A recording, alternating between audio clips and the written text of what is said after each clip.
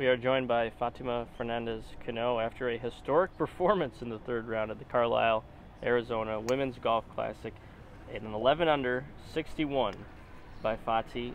A historic day. It matches the all time Epson Tour 18 hole scoring record, which was set by Michaela Finn at the 2021 Epson Tour Championship last year. Fati, you had it rolling right out of the gate. Let's start on the front nine.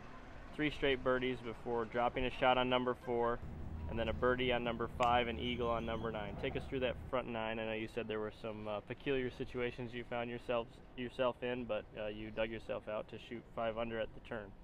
Yeah, I mean, I got off to a really good start. I had wedges in number one, number two, and uh, just a shorter iron on number three, so I was able to leave it like, super close. I think it was like six footers was the longest putt into in all of those. Um, sorry. Got ourselves a little bunny right. Yeah.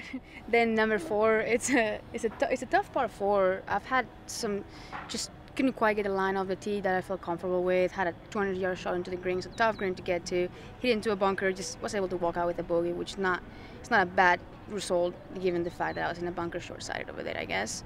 Um, then yeah, got it right back with a with a birdie right after. And then uh, I got a little unlucky number six and number eight. I had wedges in, but my ball came to rest in a pretty big divot, so I was able to walk out with a par, which is pretty good saves right there. But then, yeah, like you said, eagle number nine had I think a 12, 15 footer for eagle, made it. Um, so I kind of get, got things rolling, and I was able to start the back nine with another birdie. So that kind of kept things uh, kept things going, yeah.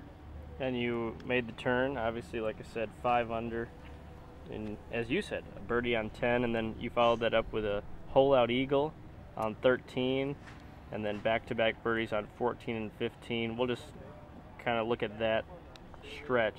Uh, take us through that eagle on number 13, and then uh, numbers 14 and 15 to get to 10 under on the day. 59 watch was in full effect at that point. Yeah, I was coming off, so like like you said, like birdie number 10, that was a really good birdie.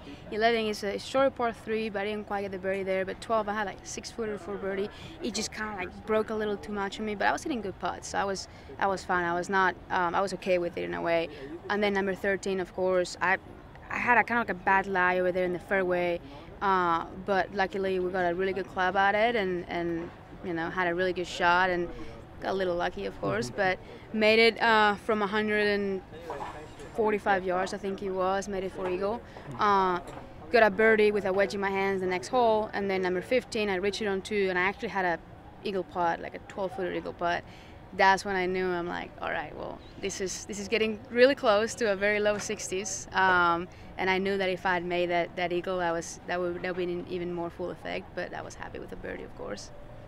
And then take us through 16 and 17, just the mindset um, with what you were able to accomplish there at walking to 18T. Were you were you a little little bummed uh, with having to make I think an albatross to reach um, to, to, to reach 59 and then an eagle to make 60 or were you pretty happy with the day I was I was happy at the fact that I kept aggressive so I never really held back which was really good. Like I said 15 is still had that eagle putt I hit a really good putt it just broke a little bit too much on me at the very end. It basically hit the hole so I was I was happy with that putt. It's not one of those that I'm leaving short because I'm scared. You know, it's that that was really good. Then 16 is a really tough par three with that left hole location. It's impossible to hold it on the green. Basically, if you're going right at it, I had a maybe a 25 footer for birdie. Hit a really good putt, so I was I was okay with it.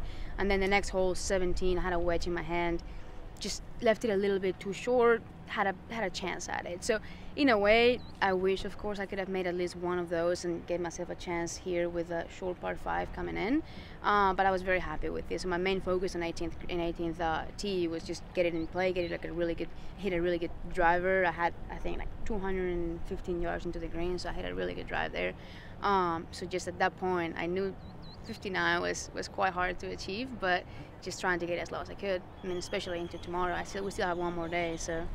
Yeah. How do you? I was going to ask now you have to follow it up. Where does this rank in terms of rounds for you?